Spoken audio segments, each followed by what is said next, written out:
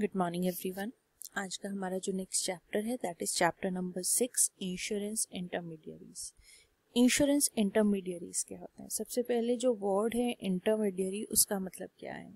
Intermediary मतलब जब दो पार्टीज़ के बीच में एक मिडल मैन जो होता है, जो दोनों पार्टीज़ को मीट करवाता है, जो कंडीशंस हैं, दोनों पार्टी की एक दूसरे को बताता है और जो भी ट्रांजेक्शन है, उसको सक्सेसफुल बनाने में एज अ मिडल मैन वो वर्क करता है तो उसे हम इंटरमीडियरी कहते हैं। इंश्योरेंस इंटरमीडियरी की बात हम कर रहे हैं तो इंश्योरेंस इंटरमीडियरी का मतलब है वो पर्सन वो मिडल मैं वो एंटिटीज वो इंडिविजुअल्स जो इंश्योरेंस में जो कॉन्ट्रैक्ट हो रहा है, जो इंश्योरेंस का कॉन्ट्रैक्ट हो रहा है बिटवीन इंश्योर्ड एंड इंश्योरर दोनों के बीच में जो भी ट्रांजेक्शन है उसको फैसिलिटेट करते हैं। तो इंश्योरेंस इंटरमीडियरीज क्या है? इंश्योरेंस इंटरमीडियरीज वो लीगल एंटिटीज हैं इंडिविजुअल्स हैं, जो ऑफ़र करते हैं और कंक्लूड करवाते हैं इंश्योरेंस कॉन्ट्रैक्ट्स को on behalf of insurance companies एक इंश्योरेंस इंटरमीडियरी वो पर्सन है जो हेल्प करता है इन बाइंग इंश्योरेंस इंश्योरेंस जब हम बात करते हैं तो इंश्योरर प्रॉमिस कर रहा है कि वो इंश्योर्ड को कंपनसेट कर, करेगा। यूजुअली जो भी ये ट्रांजेक्शन होती है, अब इंश्योरर प्रॉमिस कर रहा है कि वो कंपनसेट करेगा इंश्योर्ड को। अब इस पूरे सेंटेंस में क्या क्या ट्रांजेक्शन्स होती हैं? सबसे पहले कस्टमर को ढूंढना, उसे इंश्योरेंस पॉलिसी के बारे में सारी डिटेल्स बताना, प्रपोजल उससे फिल करवाना उसके बाद जो इंश्योरेंस पॉलिसी है, उसको बेचना, पूरा प्रपोजल लेके, जो उसके बाद जो भी एक्सेप्टेंस होगी, जो भी डॉक्यूमेंट्स उसके लगेंगे, उसके बाद अगर क्लेम अराइज होता है तो जो आपका इंश्योर्ड है, उसकी हेल्प करना कि क्या क्या डॉक्यूमेंट्स देने हैं आपने, उसको पूरा उसके क्लेम को सेटल करना, ये सारे जो वर्क है, ये इंश्योरेंस इंश्योरेंस इंटरमीडियरी जो है, वो फुलफिल करता है सभी जो ये फ़ंक्शंस है कैसे फुलफिल करता है वो एज अ एजेंट वर्क करता है इंश्योरेंस कंपनी का। और वो सारी जो भी फैसिलिटीज़ uh, हैं जो इंश्योर्ड को प्रोवाइड करवानी है इन कामों से रिलेटेड वो सारी इंश्योर्ड को प्रोवाइड करवाता है टाइमली इंफॉर्मेशन उसको। तो इस तरीके से वो जो सारी ट्रांजेक्शन है उसे कैरिड आउट करता है। तो जो यूजुअली है मोस्ट इंश्योरेंस ट्रांजेक्शन जो है कैरिड डाउन होती हैं थ्रू इंटरमीडियरी जिसे इंश्योरेंस एजेंट या इंश्योरेंस इंश्योरेंस ब्रोकर कहा जाता है। जो इंश्योरेंस इंटरमीडियरीज हैं, वो गैप जो है between the prospective insured and insured company उसको ब्रिज करती है, उसको कम करती है। तो जो इंश्योरेंस इंटरमीडियरीज हैं, वो लाइसेंस्ड उनके होती हैं बाय दी आईआरडीए उनके पास लाइसेंस होना ज़रूरी है, तभी वो वर्क कर सकती है एज अ इंश्योरेंस इंटरमीडियरी वो गवर्न होती है by the insurance regulatory and development authority insurance brokers regulation 2002 जो इंडिविजुअल और कॉपरेट इंश्योरेंस एजेंट्स हैं, वो उसे भी लाइसेंस आईआरडीए ही करता है। तो जो इंटरमीडियरी है, वो इम्पोर्टेंट रोल प्ले करती है in the entire life cycle of the product starting from the sales and up to claim servicing.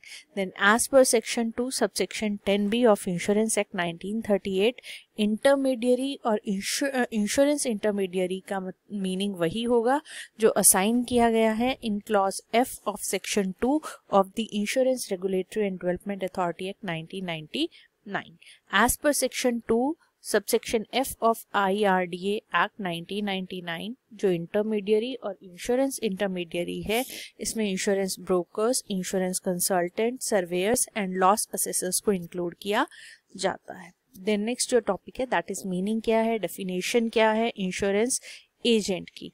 जो लॉ ऑफ़ एजेंसी है, वो बहुत ज़्यादा वाइडर है। जो उसकी एप्लीकेशन हो रही है इंश्योरेंस एजेंट्स के ऊपर उससे।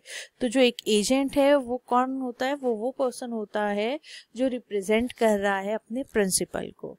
इंश्योरेंस में जो इंश्योरेंस इंटरमीडियरी है, उसे हम डिस्क्राइब करते हैं या तो एज एन इंश्योरेंस ब्रोकर्स या फिर insurance agents as per the law of agency दोनों एजेंट्स हैं। एजेंसी क्या है? रिलेशनशिप जो एग्जिस्ट कर रहा है between a principal and his agents जो एजेंट्स होते हैं इंश्योरेंस में वो सेल करते हैं इंश्योरेंस प्रोस्पेक्टिव इंश्योरर्स को और उसके लिए उन्हें सेल्समैनशिप की स्किल की ज़रूरत होती है। जर्नली ये कहा जाता है कि लाइफ इंश्योरेंस सेल करना आ, सबसे मुश्किल काम है दुनिया में और जर्नली जो ये सेइंग है इसी से निकल के आता है कि जो जब आप सेल करते हो इंश्योरेंस तो बहुत ज़्यादा हाई स्किल्स की ज़रूरत आपको होती है। आपको कन्विंस करना पड़ता है कस्टमर को। तो जो एजेंट्स हैं ब्रोकर्स हैं, उन्हें लाइसेंस होना चाहिए by IRDA for life insurance और जर्नल इंश्योरेंस और बोथ जो एजेंट्स एंड ब्रोकर्स है, वो तभी काम कर सकते हैं जब उनके पास लाइसेंस होगा। या तो लाइफ इंश्योरेंस का काम करने के लिए या फिर जर्नल इंश्योरेंस का काम करने के लिए, या अगर दोनों वो करना चाहते हैं तो उसके लिए कॉम्पोजिट लाइसेंस उन्हें लेना पड़ता है। जो एजेंट्स होते हैं, वो बाउंड होंगे, जो भी कोड ऑफ़ कंडक्ट रेगुलेशन में दिया हुआ है। देन डेफिनेशन क्या है? As per section 182 of Indian contract act एक एजेंट कौन है? एजेंट वो पर्सन है जो एम्प्लॉय किया गया है कोई भी एक्ट करने के लिए दूसरे के लिए या जो रिप्रेजेंट कर रहा है दूसरे को। दूसरा जो है उसको उ, उ, क्या कहते हैं हम? Principal in dealing with third person As per section 2 subsection 10 of Insurance Act 1938, insurance agent means an insurance agent licensed under section 42. वो पर्सन जो इंश्योरेंस एजेंट के लिए जिसे लाइसेंस दिया गया है अंडर सेक्शन 42 और जो एग्री करता है कि वो रिसीव करेगा payment by way of commission या other remuneration in consideration of किसके कंसिडरेशन में जो भी वो बिज़नेस प्रिक्योर करेगा insurance business including business relating to the continuance renewal और revival of policies of insurance then how agency arises number of ways हैं जिसमें जो एजेंसी रिलेशनशिप है वो अराइज कर सकता है, वो कौन कौन से है? पहला है बाय एग्रीमेंट चाहे कॉन्ट्रेक्चुअल है, चाहे नहीं है एक्सप्रेस है इम्प्लाइड है फ्रॉम द कंडक्ट और सिचुएशन ऑफ़ द पार्टीज़ तो वहाँ से एजेंसी अराइज होती है. देन बाय रेटिफिकेशन रेटिफिकेशन वो प्रोसेस होता है जहाँ पे आप अथॉरिटी दे रहे हो रेट्रोस्पेक्टिव से. रेट्रोस्पेक्टिव इफ़ेक्ट से.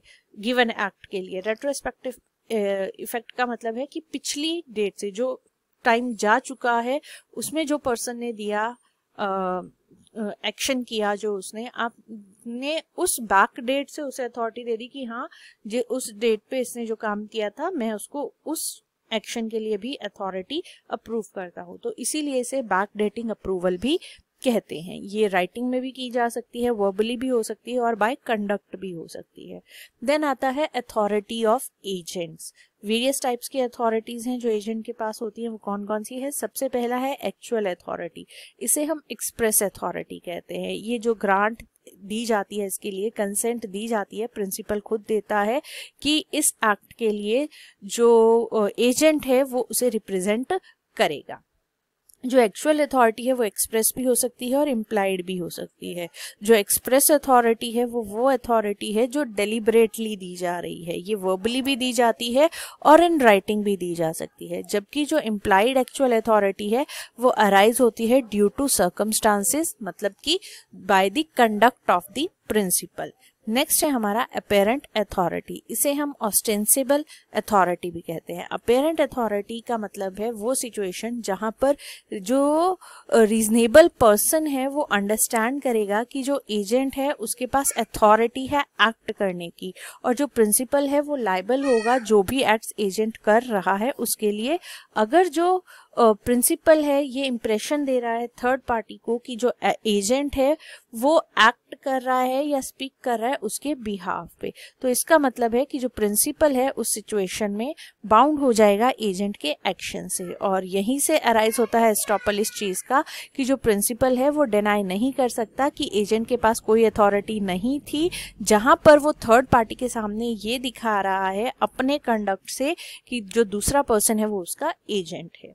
देन आता है authority of necessity origin of this agency जो है अथॉरिटी ऑफ़ नेसेसिटी ये कहाँ फाउंड होता है? जहाँ पर जो अथॉरिटी है शिप मास्टर की, वो अराइज होती है to act in emergency as agent of the ship owner ताकि वो शिप को और कार्गो को प्रिजर्व कर सके। जहाँ पर जो शिप का मास्टर है मतलब जो कैप्टन है, अगर उसका कांटेक्ट नहीं हो पा रहा है जो ऑनर है शिप का उससे और उसे कोई एक्शन इमिडिएटली लेना है इमरजेंसी में लेना है ताकि जो शिप है और कार्गो है उसके इंटरेस्ट को बचाया जा सके तो उस सिचुएशन में जो शिप मास्टर है वो एक्ट करेगा as an agent of the ship owner तो फॉलोइंग रिक्वायरमेंट्स प्रेजेंट होनी चाहिए to establish authority of necessity वो क्या? कि जो एक्ट है एजेंट का, वो बेनिफिट के लिए होना चाहिए ऑनर के, जो कम्युनिकेशन है प्रिंसिपल के साथ, वो इम्पॉसिबल है या इम्प्रैक्टिकल है, या जो पर्सन एक्ट कर रहा है एजेंट की तरह, वो कम्पिटेंट होना चाहिए वैसा करने के लिए। तो जो एक पर्सन है, वो एजेंट ऑफ़ नेसेसिटी बन जाता है इवन इफ़ अगर उसके पास एक्सप्रेस अथॉरिटी नहीं है to work as an agent और जहाँ पर जो पर्सन है एक्सरसाइज कर रहा है अथॉरिटी एजेंट जो है, वो बाइंड कर देता है प्रिंसिपल को विद दी कॉन्ट्रैक्ट्स जो भी वो कर रहा है और एंटाइटल्ड होता है वो रीइंबर्समेंट के लिए इंडेमनिटी के लिए against his principal in respect of his acts then जो हमारा नेक्स्ट टॉपिक है that is duties owned by agent to principal क्या क्या ड्यूटीज़ हैं एजेंट की टूवर्ड्स हिज प्रिंसिपल सबसे पहला है obedience and to act within scope जो एजेंट है, उसकी प्राइमरी ड्यूटी है कि वो ओबीडियंट रहे प्रिंसिपल को, जो भी उसने इंस्ट्रक्शंस दी हैं उसके लिए, और एक्ट करे within the scope of his authority और उसे वर्क करना है as per the directions of the principal otherwise वो लाइबल होगा, जो भी लॉस सफ़र होगा प्रिंसिपल को ड्यू टू हिज एक्ट उसके लिए। देन अगर वो वर्क करता है बियॉन्ड हिज पावर तो जो प्रिंसिपल है वो रिफ्यूज कर सकता है एक्सेप्ट करने के लिए उसके contracts then delegation of authority जो एजेंट है वो डेलीगेट नहीं कर सकता अपनी अथॉरिटी या रिस्पॉन्सिबिलिटी दूसरों को अनलेस एंड अनटिल उसके पास अथॉरिटी है डेलीगेट करने की। Then next is due care and diligence कोई भी पर्सन परफेक्ट नहीं होता है। लेकिन जो एजेंट है, उसको काम करना है ड्यू केयर एंड डिलीजेंस के साथ। अपनी जो भी उसके पास एक्सपेक्टेड स्किल्स हैं वाइल परफॉर्मिंग हिज ड्यूटीज़ वो उसके पास होनी चाहिए। और जो प्रिंसिपल है, अगर कोई लॉस सफ़र करता है due to negligence of the agent तो जो एजेंट है, वो रिस्पॉन्सिबल होगा प्रिंसिपल को कंपनसेट करने के लिए। नेक्स्ट जो आता है दैट इज़ अकाउंटेबिलिटी जो एजेंट है, वो सबमिट करेगा सारी मनी जो भी वो रिसीव कर रहा है एज अ प्रीमियम या किसी और फॉर्म में और अकाउंट्स प्रिंसिपल को डिपॉजिट करेगा मनी प्रिंसिपल के पास एज सुन एज पॉसिबल और मेंटेन करेगा adequate accounts in a proper way related to his agency then deals only in principal's name जो एजेंट है, वो डील करेगा थर्ड पार्टी से सिर्फ़ और सिर्फ़ प्रिंसिपल के नेम में। वो अपने नेम से डील उसके साथ नहीं कर सकता। अगर करता है तो उसके लिए उसे प्रियोरियर कंसेंट लेनी पड़ेगी प्रिंसिपल से। Then next is to communicate and obtain instructions in case of difficulty ये ड्यूटी है एजेंट की कि कम्युनिकेट करे वो प्रिंसिपल से और उसकी इंस्ट्रक्शंस ले। अगर एजेंट उस पोजीशन में नहीं है कि वो कम्युनिकेट कर सके प्रिंसिपल से और इमरजेंसी है तो उस स्टेप में वो रीजनेबल स्टेप्स लेगा। उस सिचुएशन में वो रीजनेबल स्टेप्स लेगा प्रोटेक्ट करने के लिए इंटरेस्ट को प्रिंसिपल के। देन नो सीक्रेट प्रॉफिट कोई भी एजेंट जो है वो सीक्रेट प्रॉफिट्स नहीं बना सकता और जितनी उसको रेमनरेशन मिल रही है, उससे ज़्यादा वो प्रॉफिट जो है नहीं बना सकता। Then next is your not to use information obtained in the course of the agency against the principal एक एजेंट जिसके पास जो भी कोई सीक्रेट अगर इंफॉर्मेशन आ रही है, वो उसका यूज़ नहीं कर सकता अगेंस्ट दी प्रिंसिपल तो अगर वो ऐसा करता है तो जो प्रिंसिपल है उसे रिस्ट्रेंट कर सकता है। Then duty to protect and preserve the principal interest on his death और इंसेनिटी अगर प्रिंसिपल की डेथ हो जाती है या वो इंसेन हो जाता है तो जो एजेंसी है, वो टर्मिनेट हो जाता है। उस पॉइंट ऑफ़ टाइम पे ये ड्यूटी है एजेंट की कि वो प्रोटेक्ट और करे प्रिजर्व करे इंटरेस्ट प्रिंसिपल का। नेक्स्ट जो हमारा टॉपिक है राइट्स ऑफ़ एन एजेंट इसे हम कंटिन्यू करेंगे हमारे नेक्स्ट लेक्चर में। Thank you so much